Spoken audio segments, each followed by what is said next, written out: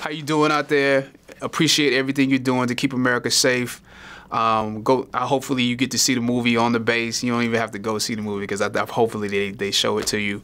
Um, you deserve that love that I'm able to to bring you some kind of enjoyment while you fight for our country.